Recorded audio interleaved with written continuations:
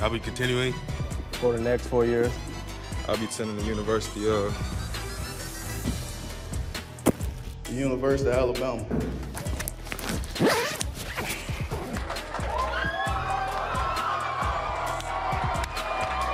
At the University of Notre Dame. University of LSU. The University of Mississippi. Uh, college football recruiting, the tide continues to roll, signing 24 ESPN 300 recruits, the most by any team in the 14 year history of us covering recruiting. That capped quite a day for the Southeastern Conference, which became the first conference to sweep the top three spots. On the end of that end of the spectrum, not the best of days for the Pac 12, and in Los Angeles in particular, USC had its worst class of the ESPN 300 era, and UCLA nowhere to be found outside of the top 50 of the rankings. I'm Matt Schick. Welcome in to the National Signing Day post-mortem edition of College Football Live. Matt Schick along with Jim Mora and National Recruiting Director Tom Luginbill. We spent uh, more than five hours together in a studio, so we requested uh, separate studios today. Although we did, Tom, have some fun yesterday, and some schools did have a lot of fun. Which school had the most fun? Which school was the biggest winner? I'm actually going to start out in the Pac 12. I think the job that Oregon did going all the way back to the spring, how they sustained their recruitment, sent a message to the Pac 12, really made some waves. They got faster on defense, they added their perimeter players, and then, of course, they signed the number one overall player in the country in a premium position in Kayvon Thibodeaux at the defensive end spot. I just think that they are resonating right now. Uh, they're changing the landscape of recruiting and, and how it's being approached and how it's going to be done going forward. And uh, really, they really stood out as much as anybody, even though they didn't have to do a lot of work yesterday. Now, I really think it comes down to Tennessee and Florida. I think both of those teams proved that uh, recruiting is still a marathon. It's not a sprint. Uh, Tennessee ends up getting the big offensive tackle they needed in Darnell Wright. They cast a wide net in California, end up signing linebacker Henry To'oTo'o. I think that was important for them because it sends a message of who they are in a broader spectrum because they got to go into other people's backyards. And then the Florida Gators coach, I think the Florida Gators and Dan Mullen, the job that he did in the month of January, being able to get a defensive end in Khris Bogle, getting the, the premier remaining corner prospect in Kaiir Elam on uh, the, on February 6th tells me that the Florida Gators are reloading at the right spots and doing a really nice job. I, I, agree with you, uh, Lugs, on all of that. I'll tell you, let's go back out to Oregon for a second and just, you know, think about what Mario Cristobal has done. I think what he's done is take an SEC approach to recruiting and bring it mm-hmm. out west, and I think it's really working. And we've talked a lot about the West Coast lacking a, a big man, but he was able to go get himself some some big guys, and we know that he's an offensive line coach by trade, so that's important to him. And then I also think you have to recognize Washington, and, and their class was, you know, it was right in there, you know, in, in the middle of the pack, but but I think you have to count the quarterback transfer, Eason, in this class because mm-hmm. he's a guy that's going to see the field. Now, he's been there for years, so he knows their system, but taking over for Jake Browning, and I love Jake Browning, he's a, he's a heck of a college football player, but this guy's going to take him to another level. Uh, but the SEC just continues to dominate, and, and you and I talked about this yesterday quite extensively. It starts with a top-down attitude, and that's the regents or the president or, or the, the board of regents, who, whoever it may be, the chancellor that says, hey, you know what? We are going to be a great football program here because that is the window, that's the front porch to our school. That is the, the, the thing that's going to give us the most visibility. It's going to put us on TV, it's going to give us free advertising. And you see that throughout the SEC. And I think that's one of the reasons, that commitment from the top down, that you're seeing a domination not only on the football field, but also in the recruiting landscape. That's that's in the SEC. Let's go back out west where you started your, your comments there, Jim. Tough day for the Pac-12. Just seven teams were ranked in the top 50 in terms of classes. That's tied for the fewest among the Power Five conferences. Jim, you coached out at UCLA. What is wrong with the Pac-12? Well, you know, I just praised a couple teams, but they've got an image issue. Number one, they're they're not on TV a lot. Number two, they're not winning big games. They're not getting into the college football playoffs. They're not getting the premier players. And I think maybe most importantly, teams like Ohio State and Alabama and now Tennessee, uh, Notre Dame, they're coming in and they're taking the premier players out of the state of California or from the West Coast. There was a West Coast team yesterday that lost a kid out of their own backyard who, who went from a Southern California school to, to Kansas State. That didn't didn't happen in the old days.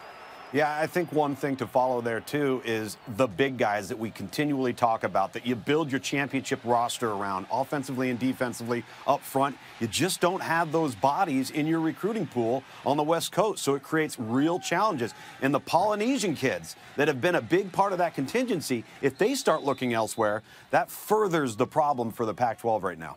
Uh, let's go to the ACC, where after not getting a quarterback in the 2018 class, Florida State head coach Willie Taggart attempted to get one in the 2019 class. That was derailed when Sam Howell from North Carolina decommitted or chose, I should say, North Carolina over FSU, and then he didn't get one yesterday. Someone, another quarterback, committed to Maryland instead of Florida State. And that comes on the heels of Deondre Francois being dismissed from the team. Willie Taggart on Wednesday said all is well. We have a plan. Uh, I think a pretty good plan. Uh, I don't necessarily want to discuss it right now, but I think we got a pretty good plan on, on where we, where we want to go. Uh, we've had this plan in place. After today, we executed, it, and we got to continue to grow. We need more depth at the position. Obviously, I think um, when you look at the transfer portal and, and grad transfer, there's always options for us. But I think it's more important to get the right kind of guy in here, especially at that position, and not just go get any anybody. Jim Mora, are you confident in Willie Taggart's plan? No. No, I hope he has a plan. He better have a plan. Other, otherwise, he has a problem.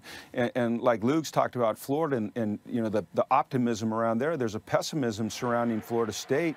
They've got an image problem right now, and not getting a quarterback in two consecutive classes. You can't you can't overstate the importance of that. Yeah, and coach, you know, not just not signing a quarterback in two consecutive classes, but having a chance at two kids that had not committed, both go in another direction. The one young man decides to go to Ole Miss and John Rhys Plumlee, and the other, as you mentioned, Matt, goes to, to Maryland. So now you're left with the transfer portal. So who does that leave you? Maybe Josh Jackson out of Virginia Tech, because you're going to have to get somebody that can play right away. Transfer portal is not going to help Florida State with a guy that's still got to sit out typically, you know, you use the transfer portal to supplement your program, not right. to build your program. And so if you're going to keep going to that well for the quarterback, I don't know how you build your program in the way that you want it to look. Well, we'll see if uh, Florida State can get a quarterback from the transfer portal. The transfer portal is where a top five player from last year's cl class resided for eh, about 24 hours or so. Alabama linebacker Eyabi Anoma put his name in the database, but then Nick Saban broke the news with us on Wednesday that Anoma was no longer in the portal. I asked Saban what he thought of the new system that allows players easier access to transfer. I do think it gives players options. Uh, but I also think that uh, we want to make sure that we're not uh, putting decision making in people's hands that may not be in the best position to make those decisions sometimes in terms of what's in their best interest. Tom, are you okay with easier access for players to transfer like the portal? Not entirely, not as it currently state, it, it sits right now. I think there needs to be some tweaks to it. Um, I don't like how it's open-ended. Um, you know, I like Nick Saban's comments right there in regards to Eyabi Anoma. That was a nice way of saying, quit listening to the people that shouldn't have anything to do with this decision that are telling you, oh, you're, you know, you're getting hosed or you're not playing or you're better than that and you should go here and you should go there. That's exactly what Nick Saban is really saying. So I just think, I think the whole process just needs to be thought out a little bit more thoroughly, uh, both from a, a, coaching perspective and a player perspective, uh, Coach Mora. Well, like usual, Nick brings it right back to where it should be, and that's to the player and to the practicality of the system.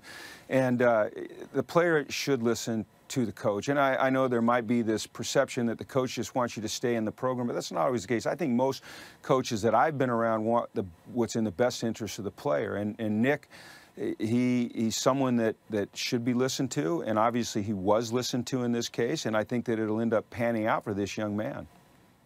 Transferring is something that uh, quarterbacks have been doing at a rapid pace. Look at some of yeah. the big names that have decided to go from one school to another. Hurts, uh, Kelly Bryant, Justin Fields, Brandon Wimbush, Jacob Eason.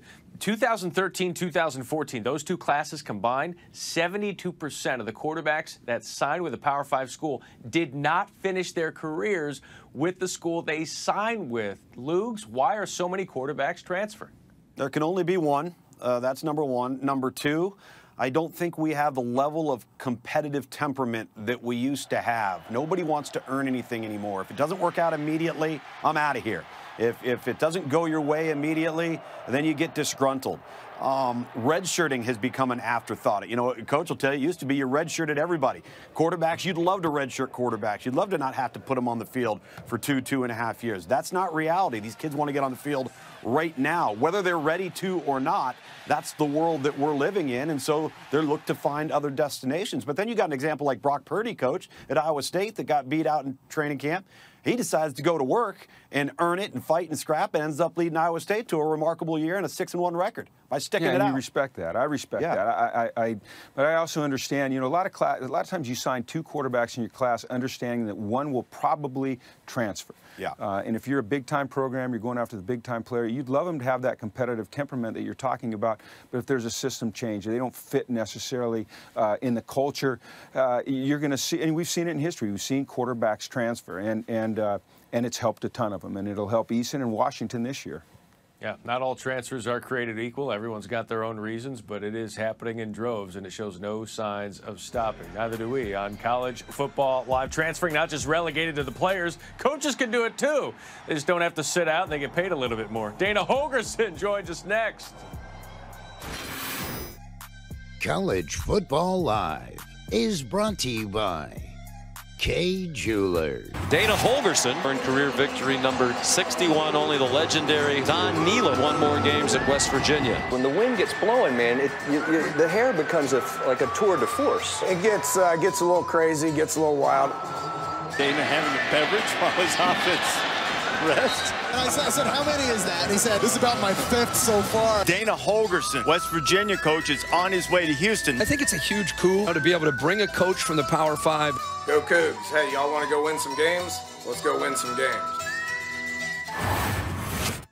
Ellie sat down the uh, the Red Bull long enough to chat with us here for a few minutes. Dana Holgorsen, the head coach of the Houston Cougars. Uh, Dana, appreciate the time here on College Football Live. Why did you ultimately decide to leave West Virginia for Houston?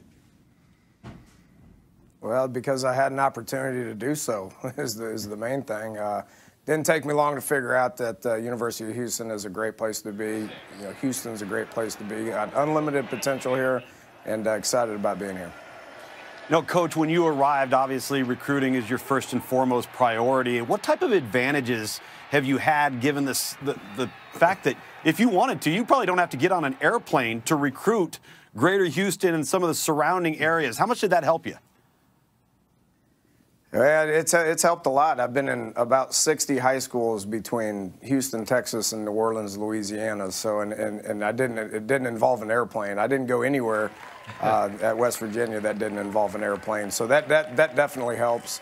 I got great respect and admiration for all the high school coaches here in the state of Texas and especially Houston. Uh, and Louisiana is not a bad neighbor as well. So yeah, that made that made a difference when it comes to getting out and doing what we got to do. Coach, this is Jim Mora. How you doing? Good, Jim. Good. Hey, I'll, we all have some crazy recruiting stories. You have any good ones from the road this year? Well, it's a lot of food. All recruiting stories involve food. Every meal is the best meal you've ever had, especially in? Houston.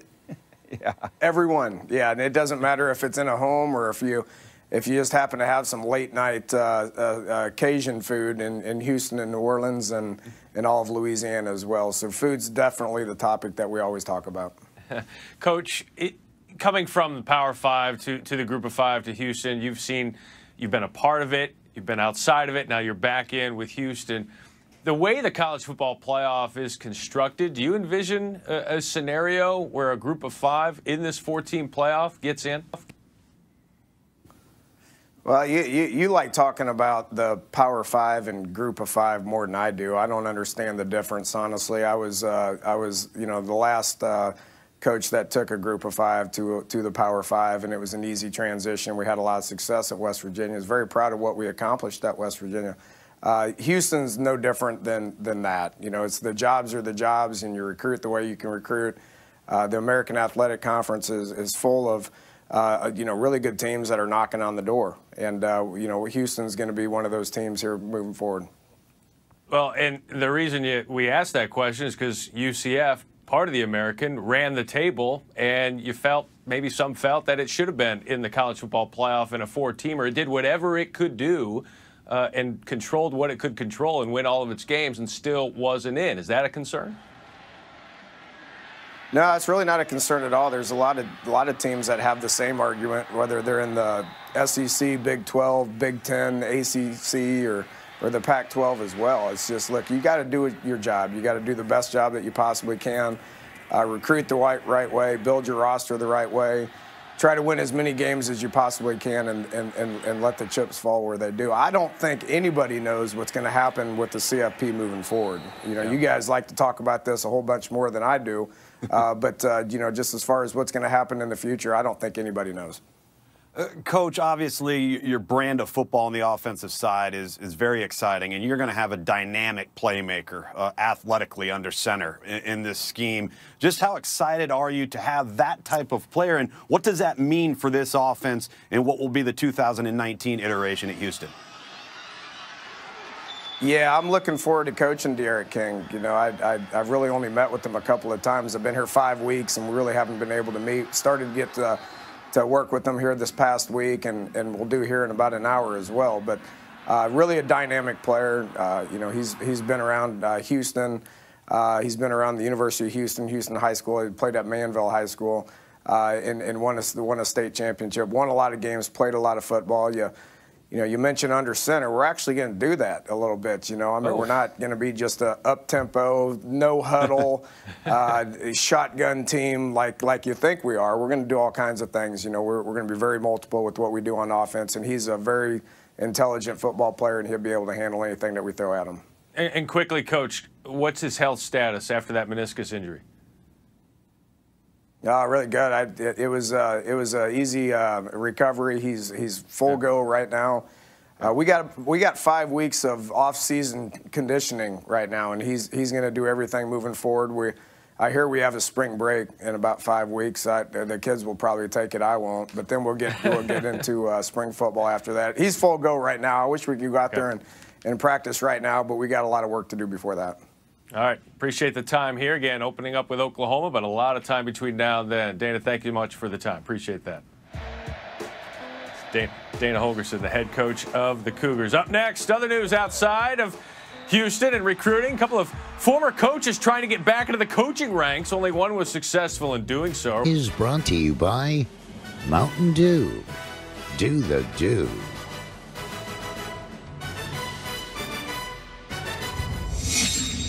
I will make a statement. You tell me whether it's inbounds or out of bounds. Kyler Murray today announced he will attend and compete in the NFL Scouting Combine. Jim Mora, this statement Kyler Murray is a franchise quarterback in the NFL. Kyler Murray has the, the ability to be a franchise quarterback as long as he can overcome his height. But I think if he's in the right system with the right coach, calling the right plays, that takes advantage of his extreme athleticism and his great competitiveness, he can be. I think he's a franchise talent. My only concern is the length of the season and durability given his measurable standard. All right, that's one foot in, I guess. Inbounds, out of bounds. You're kind of both toeing the line there. Uh, Bob Stoops, 58 years old, introduced today as the GM and head coach of Dallas franchise in the XFL. Lugs, you coached in this league. Is he a good fit? Boom, Inbounds, go get one of those big Big Bob, Big Game Bob gets you one of those. Yes. I, I, think hey. he's going to have a blast. I really do. When you get to manage and put together a roster, there's a lot of good football players that are out there. There's football that wants to be watched by fans when it's not the fall. I think this is going to be an exciting move. This is a big hire for Oliver Luck. He's a ball coach. He wants to coach ball. Hey, he'll yep. be as competitive as he's ever been, but they won't. He won't have the stress that he had right. at Oklahoma. So let's see how he does. I'm sure he'll do well, and let's see if it leads to something bigger and better for him. And he'll have summers off so he can golf. League starts in January, February. you don't get summers off, dude. Well, maybe. Uh, you would know. Uh, after Art Briles was denied the opportunity to be a candidate and get that offensive coordinator position at Southern Miss by the higher ups and university leadership, Art Briles will never coach again. Lugs inbounds or out of bounds? Uh, out of bounds. Inbounds if you say college football. I think he'll find a place to coach somewhere, maybe overseas, uh, some some way, shape, or form. But in today's social climate, how is an AD, how's a president, how's a board of trustees going to feel about that when their coach wants to to interview him? I think he needs to focus on the professionals as well. I think that Yep. there's a spot for a guy like this. His creativity, his passion, his competitiveness. Uh, it's going to be really hard for him to get back in the college game. All right, we'll end with this. We've seen some signing day shenanigans before, but how about Gavin Potter, uh, Potter three-star linebacker out of Oklahoma, comes to his signing day news conference with a Kansas State hoodie and then a Texas Tech shirt, takes them both off, and he's painted the chest KU blue, rock chalk. Lugs inbounds or out of bounds? Out of bounds. I just Oh. think I don't. I just think it's disrespectful to the individual that spent all that time recruiting you, and um, I don't like it. I agree. And, and I don't like his parents sitting there endorsing it either. I, look, let's just show some humility and let's be gracious that we even got an offer. And, and Yeah. let's respect KU as well as the other two teams that he disrespected. All right, and while you're at it, uh, get off our lawn. By the way, That's right. By the way, he will get along with Les Miles. I think that's safe to assume. Uh, Friday, 4:30 p.m. Eastern Time on E ESPN2. We're back on College Football Live. Thanks for watching the Thursday edition.